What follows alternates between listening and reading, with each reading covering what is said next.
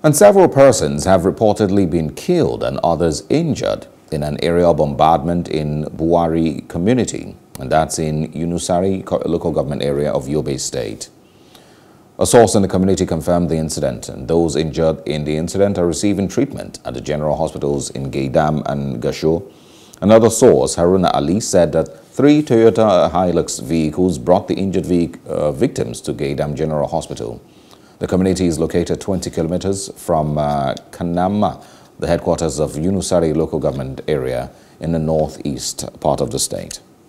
Hello. Hope you enjoyed the news. Please do subscribe to our YouTube channel and don't forget to hit the notification button so you get notified about fresh news updates.